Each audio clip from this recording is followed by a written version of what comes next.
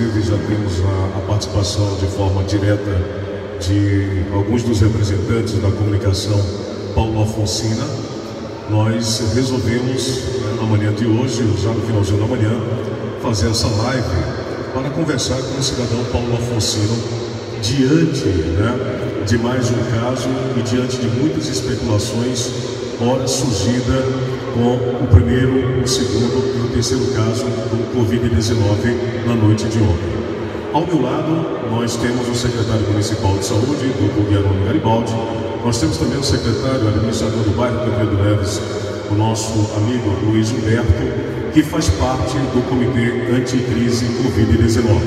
Estamos no ginásio do esporte Luiz Eduardo Magalhães e nós vamos ter a participação de vários colaboradores da imprensa como Alfonsina, para que nesse momento a gente possa levar tranquilidade e evitar muitas especulações.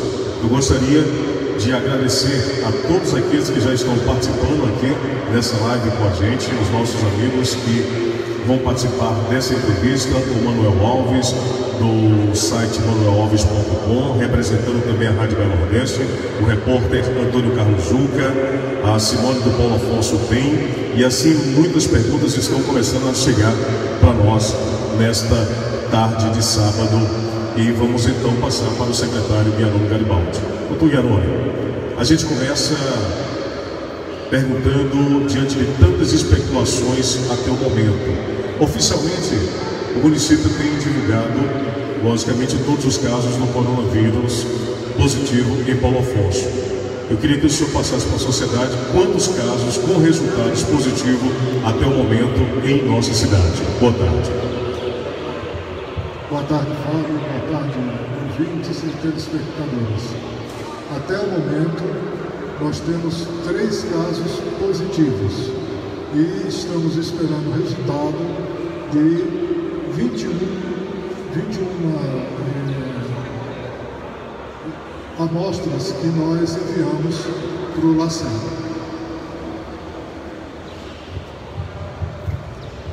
A gente começa a receber já aqui as perguntas é, do Manuel Alves na Rádio Bahia Nordeste. Ele faz a pergunta nessa linha que eu acabei de falar com vossa pessoa. A pergunta primeira é: confirma três casos de coronavírus qual é o atual quadro de saúde destes que foram testados com o Covid-19?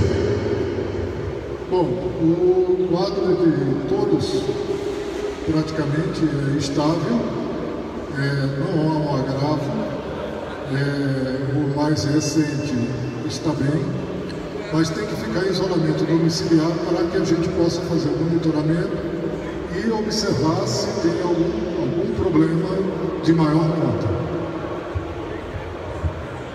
ainda representando a Rádio Bahia Nordeste, Manuel, é, ainda as lotéricas e agências bancárias persistem com o problema de aglomeração. Que medidas serão tomadas a já que temos conhecimento do primeiro caso de contaminação comunitária? O Luiz Humberto é quem vai responder, ele que faz parte do Comitê Anticrise Covid-19. Bom dia, Fábio. Bom dia, ouvintes. É, essa é uma questão que a gente vem tratando é, desde o início é, desse programa. Desde o início em que se vem desenvolvendo esses trabalhos, a preocupação é crescente. A gente tem observado a compreensão e o atendimento ao que determina o decreto municipal por uma boa parte da sociedade e do comércio local. Não temos tido uma resposta também muito positiva, uma pequena parte desse, desse comércio e até mesmo da sociedade. O que vem acontecendo, uh, principalmente em, relação aos serviços essenciais, quando você, principalmente nas agências bancárias e uh, nos supermercados. Evidentemente que as pessoas precisam se deslocar para comprar o alimento e, e também para é, conseguir os recursos necessários para sobreviver. Com a, a, essa, essa, essa recente decisão do governo federal da liberação desses recursos emergenciais, criou-se um fluxo muito grande, principalmente na Caixa Econômica, que é responsável pelo pagamento é, desses valores. Paulo Afonso, por, pela sua característica de cidade pobre, atrai um número significativo de pessoas. Nessas cidades vizinhas, onde não tem a agência bancária, e em outras até, em outros municípios, até fora do estado da Bahia. A nossa geografia também já complica um pouco. Somos uma cidade fronteiriça, fazemos fronteira com os estados de Sergipe, de Alagoas e de Pernambuco, e algumas dessas cidades, inclusive com seus acessos, as barreiras com, com mais rigor, impedindo ou dificultando o acesso das pessoas, elas acabaram correndo a Paulo Afonso. Mas o que se verifica é mesmo é que falta de agência na maioria dessas localidades. A agência mais próxima é na cidade de Paulo Afonso e isso faz com que esse fluxo aumente. Nós entendemos que fica muito difícil a agência bancária controlar de uma forma muito é, rígida essa questão, porque não, não conta inicialmente com a compreensão das pessoas. Agora, por outro lado, nós temos tido o cuidado de orientar, de conversar, de divulgar as ações necessárias. E ontem, por, sinal, tivemos uma reunião com o pessoal da, da Caixa Econômica, em que nós vamos cumprir, fazer cumprir o decreto municipal. As exigências vão ter que ser observadas. E se houver necessidade de interromper o serviço, nós vamos fazer. Não tenho a menor dúvida disso. Se houver um caso extremo, a necessidade temporária da suspensão desse serviço, se assim se fizer necessário, assim acontecerá. Com relação a, ao funcionamento, ou seja, a flexibilização, o comércio foi aberto, houve uma flexibilização de funcionamento. E as regras já estão muito claras, muito bem definidas. E nós vamos intensificar a nossa fiscalização e controle né? Vamos é, começar o, o, o, trabalho com as barreiras sanitárias volantes, as itinerantes, aquelas barreiras, aquele, a, nossa vigilância sanitária vai estar assim, caminhando pelas ruas da cidade, visitando ponto a ponto cada estabelecimento, interagindo com as pessoas, para que o decreto seja obedecido na sua íntegra. Preciso que as pessoas entendam que a necessidade de colaborar é imperiosa neste momento. Porque se ainda assim não se conseguir atingir o objetivo necessário, medidas mais drásticas poderão ser tomadas. O que nós não podemos é pôr em risco a saúde de ninguém. Não podemos também, entendo, entendo que não podemos paralisar totalmente todas as atividades que possam estar levando é, a outros riscos. Mas com compreensão e com colaboração, com certeza que a gente conseguirá um, um resultado mais significativo. Mas se necessário for, repito, medidas mais drásticas serão tomadas. Obrigado, Luiz Humberto. Agora o Manuel fala pelo portal Manuel Alves. Como anda a fiscalização nas localidades rurais? Haja vista, temos recebido eh, diariamente denúncias de bares que estão abertos desrespeitando o decreto municipal, pondo em risco a população e de pessoas que chegaram de várias localidades do Brasil. Bom, com relação a essa questão da zona rural, nós continuamos fazendo a nossa fiscalização. Contudo, o que ocorre é que existe aqueles, aqueles donos de bares e os seus usuários que insistem e persistem em desobedecer não uma medida é, de, de, restrição com relação a, ao ir e vir. Não é isso.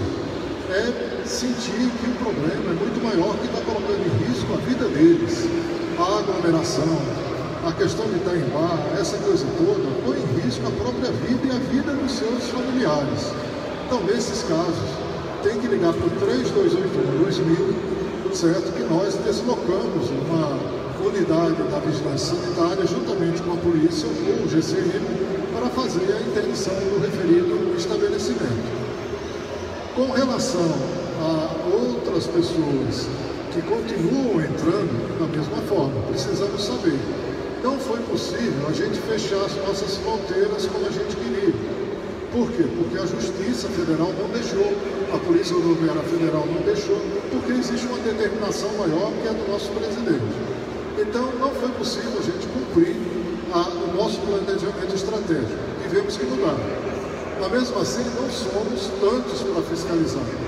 O maior fiscal é o vizinho, que se sentir ameaçado, ligue para 3281 2000 que iremos fazer uma intervenção no local. Tiago Santos, Rádios Delmiro. Secretário, Paulo Afonso já registra o terceiro caso confirmado de coronavírus. Quais são as novas medidas a serem adotadas a partir de agora no município?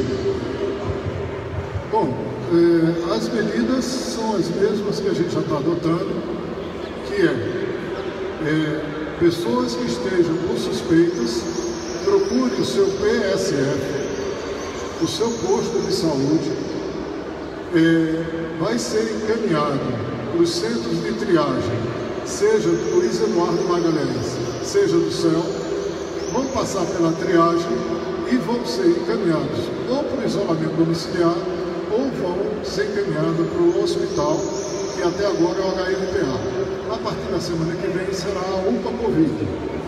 Então, assim, o que nós temos que fazer agora, já que no começo, no início da disseminação, da contaminação se estabeleceu, é tratar de quem está contaminado.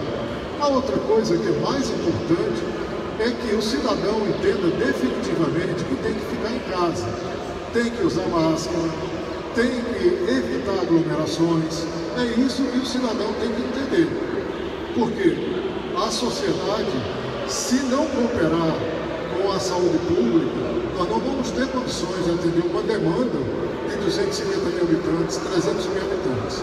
Agora há pouco, o, Luizinho estava falando aqui, é a respeito da Caixa Econômica. Só para se ter uma ideia, nós fomos informados ontem, nessa reunião que ele relatou, que, em média, a Caixa está atendendo por dia 3 mil pessoas. 3 mil vezes 5 são 15 mil pessoas.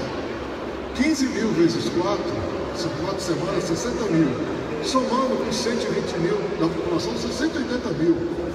Quer dizer, tranquilamente, nesse mês que a gente vai encerrar, a gente bateu aí a casa dos 200 mil habitantes de Paulo Afonso circulando pelas ruas.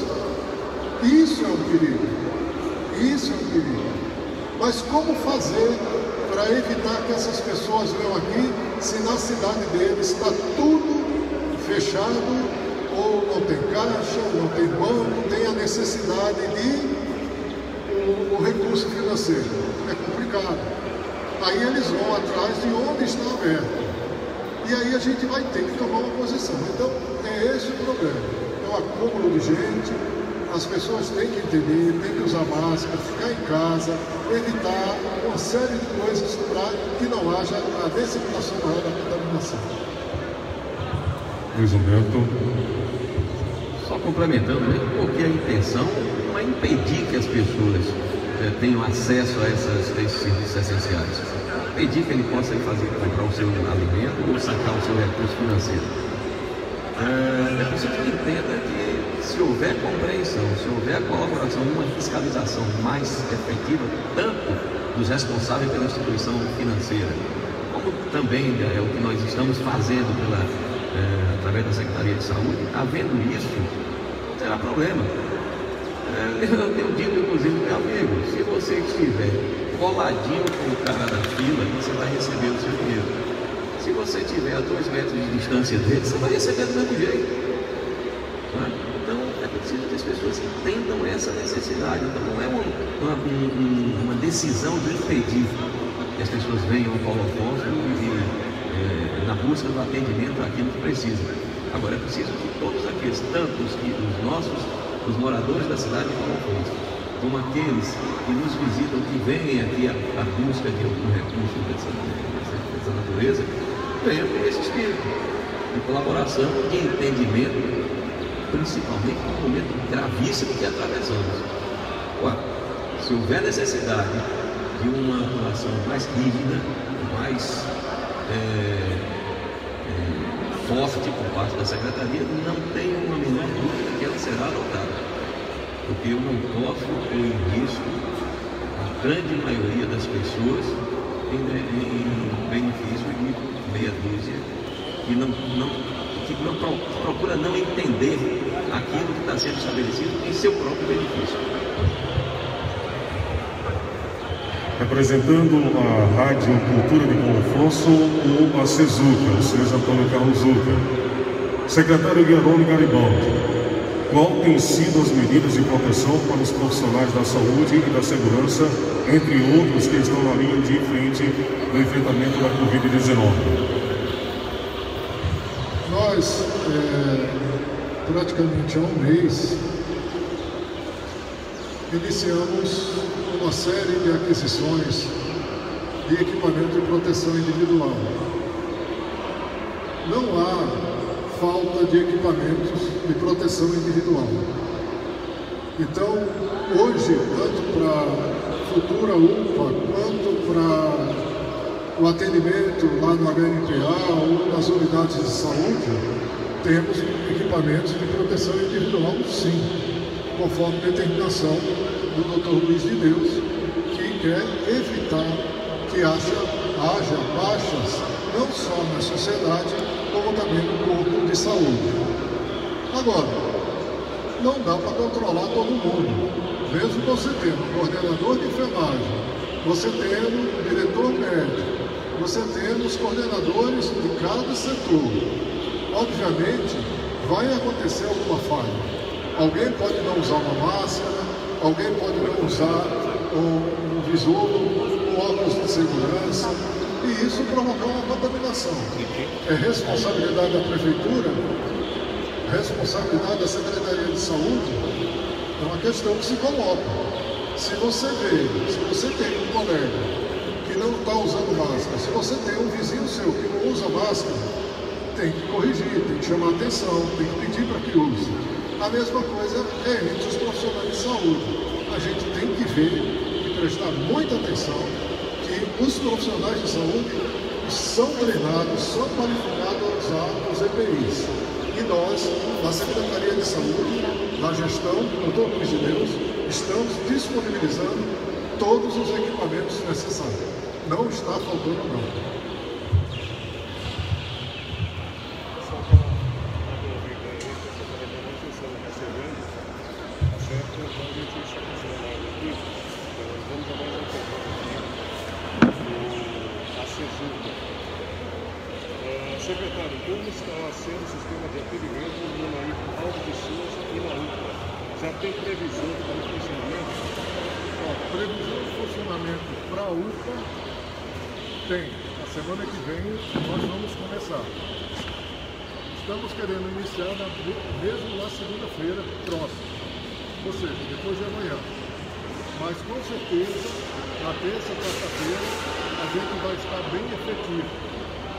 Com relação ao Hospital da Ilha Almoçoso, quando a UPA começar a funcionar, mais alguns dias, provavelmente 10 dias, será entregue ao Aganás.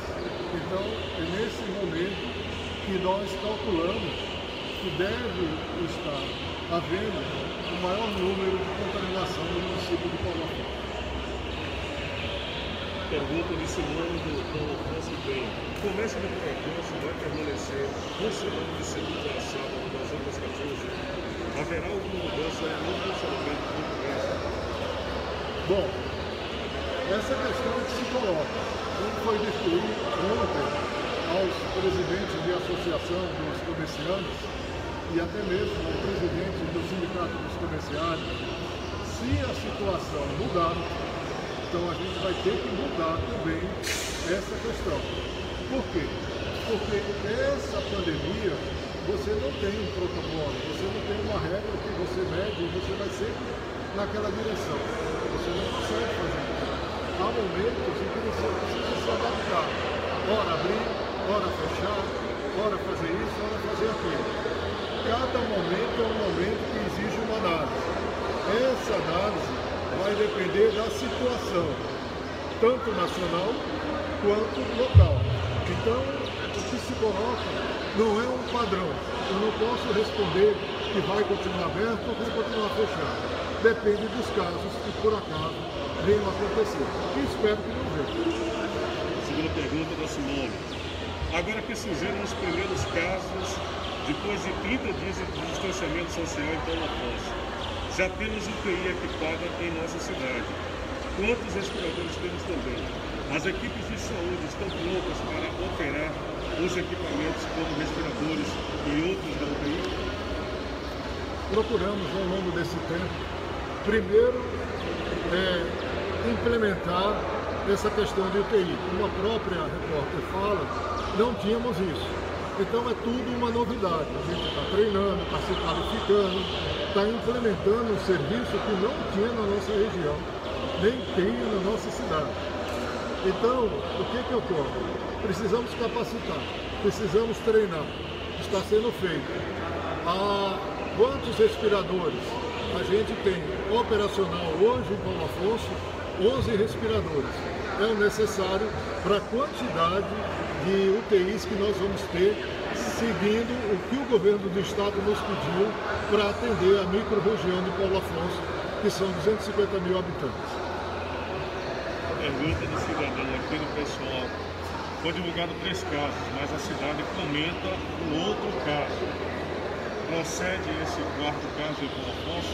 Já chegou outro resultado ou outros resultados? Olha, o quarto caso positivo em Paulo Afonso, por enquanto não tem. Não foi nos comunicado nada pelo LACEN. Não procede essa informação que nós temos um quarto caso. Já foi divulgado outros resultados, entre ontem e hoje, todos negativos. Por enquanto, e eu espero que continue por muito tempo, três casos positivos em Paulo Afonso. Diante de tudo que está acontecendo, secretário Guiarone, a higiene e isolamento são fundamentais, sair de casa é extrema necessidade. Mas de que maneira o cidadão em casa também deve proteger a sua família? Bom, como você falou, primeiro com a higiene. Segundo, temos que ter o cuidado de deixar as janelas abertas para que haja uma boa ventilação e iluminação dentro de casa. Mesmo dentro de casa, em alguns casos a gente tem que usar máscara. E se você estiver doente, estiver contaminado, tem que ficar em isolamento em algum espaço da casa que você acha que não vai ter contato com o resto da família. Isso é imperativo. E a limpeza, como você mesmo disse, Fábio, é fundamental. Lavar as mãos, o isolamento, o distanciamento social é fundamental. Pergunta aqui, com relação ao terceiro caso, qual a ajuda da Secretaria de Saúde para dar suporte às pessoas que tiveram contato com essa terceira pessoa? A terceira pessoa contaminada, nós rastreamos toda a rede de contam- contaminação dela entre ontem e hoje. A maioria está localizada. Se tiver algum caso que alguma pessoa que teve contato e que nós não a procuramos, entre em contato com 3281-2000 que nós iremos até você. Com relação a, a- a esses que foram, que foram feitos contatos, nós estamos fazendo, em alguns casos, testes, ou é, o teste PCR ou o teste rápido. Mas nós estamos fazendo o que a- o protocolo do Ministério da Saúde manda. Laboratórios particulares de Paulo Afonso poderiam contribuir né, para ajudar nos resultados de exames para que sejam mais rápidos em Paulo Afonso? Bom, nós, como eu falei anteriormente, a gente está seguindo o protocolo do Ministério da Saúde. Qual é o protocolo do Ministério da Saúde? Saúde. É o swab nasal, ou seja, quando a gente procura a, a cepa do vírus na mucosa nasal, certo? E a outra é o teste rápido. Por enquanto, não está envolvido o é, os laboratórios particulares, porque não são testes que precisam de laboratório, nesse momento. E, doutor Gueroni, é, Luizinho gostaria de acrescentar algo a mais nessa live aí, que estamos sendo bastante visualizados nesse instante? É, só reforçar a questão dessa, da necessidade de cada um, de cada pessoa, a necessidade de se preservar e preservar a vida do seu próximo. Esses cuidados com a higiene pessoal e, a, e os cuidados da higiene no ambiente em que você habita é indiscutivelmente de fundamental importância.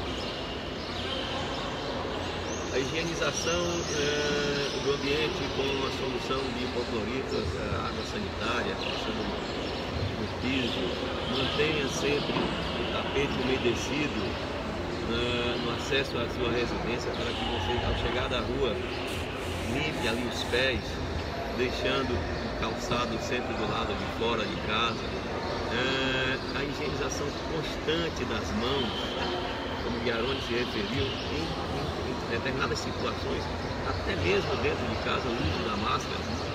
Se você sente algum dos sintomas que já são por demais conhecidos e divulgados, se você tem alguém em casa, mesmo que com é, uma contaminação leve, aí é que esse cuidado precisa ser redobrado e não hesitar em momento algum, de forma alguma, não hesitar em comunicar às autoridades de saúde qualquer caso, qualquer sintoma, qualquer sinal que você ache que pode estar acontecendo com você próprio, com alguém da sua família ou com alguém nas proximidades da comunidade onde você vive. Então, essa comunicação, essa decisão pode fazer a diferença sim. As ações necessárias para a sua própria proteção e das pessoas que circulam, que vivem em torno de você, pode ter um significado que chama-se salvar uma vida. Então, a participação de todos. É preciso que se entenda que essa ação da Secretaria de Saúde, da Vigilância Sanitária, ela em absoluto ela não é punitiva. Ela é uma ação de vida. É, é uma ação em que pode, se, pode fazer a diferença significativa entre a vida e a morte. Se você precisa de apoio, se você entende que alguém que você conhece ou que você tomou conhecimento precisa de apoio, comunique imediatamente e as ações necessárias serão adotadas em seu próprio benefício. Vendo no cidadão, de que maneira ele pode contribuir com as ações do governo municipal e quais os telefones que ele deve ligar para fazer suas denúncias. O cidadão Paulo Alfonsino, especificamente, desde o início a gente fala da questão da responsabilidade.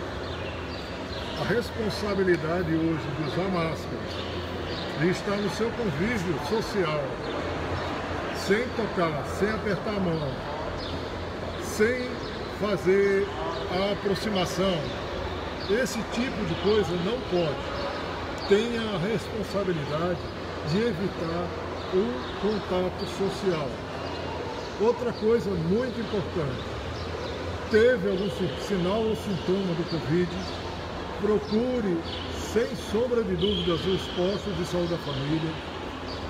Os postos irão encaminhar para os centros de triagem e os centros de triagem é que vão encaminhar para o hospital ou vai fazer isolamento domiciliar. Não procure os hospitais, não vão para os hospitais, certo? Procure o PSF ou procure os centros de triagem.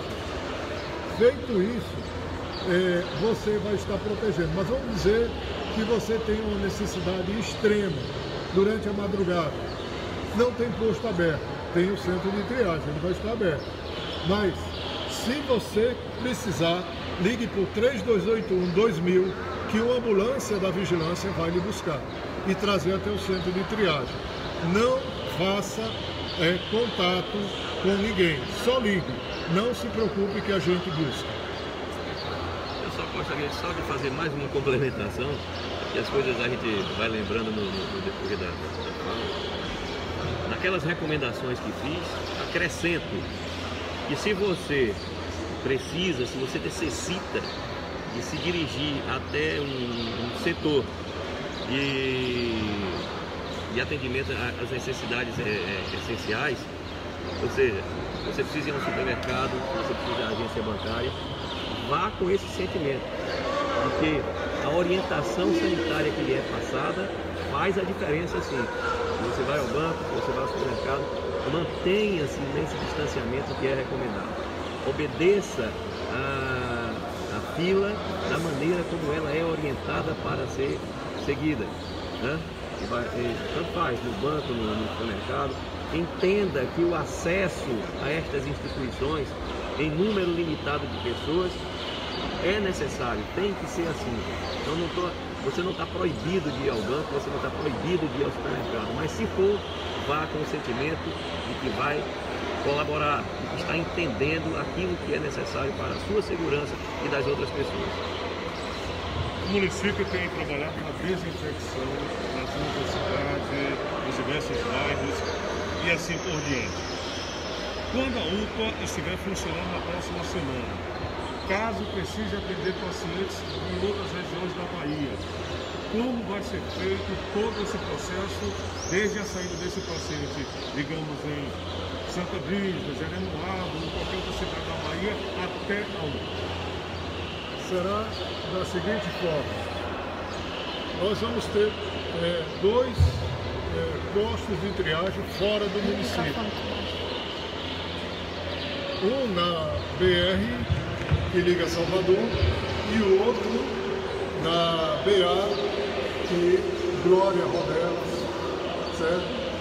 A ambulância vai chegar nesses locais, nós vamos verificar a condição do paciente e aí que levamos para a UPA ou para o centro de triagem nosso. Então, é essa é, rede de proteção que nós vamos fazer. Bom, nós estamos ao vivo no Facebook da Prefeitura Municipal de Paulo Afonso, Prefeitura Municipal de Retiro. Nosso Instagram, Instagram é é, Prefeitura, senhoras e senhores, também do Instagram da Secretaria Municipal de Saúde, ao meu lado aqui, os secretários de saúde, o Gabriel Garibaldi e o Luiz Humberto, secretário administrador do Banco de Verdades, que também faz parte do Comitê Anticrise Coronavírus, ou seja, coronavírus, tá?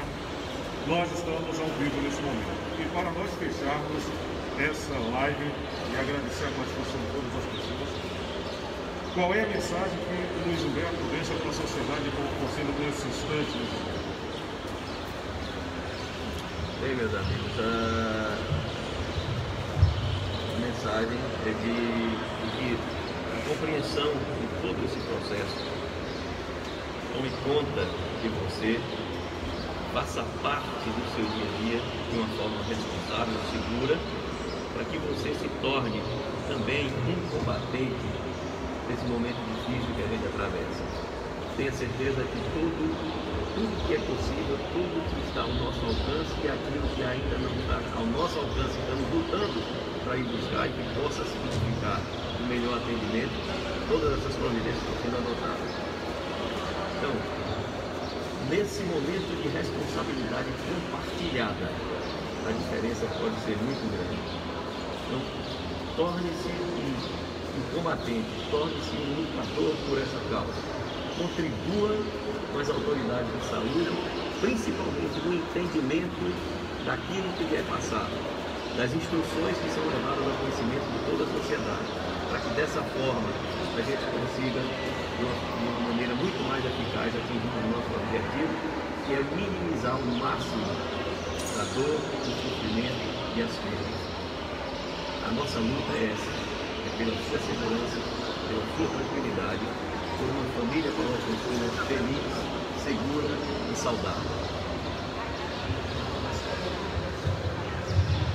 Secretário Guilherme Garibaldi, a gente percebe que muitos médicos, muitos profissionais da área de saúde estão envolvidos nesta luta, nessa busca de salvar vidas de manutenção.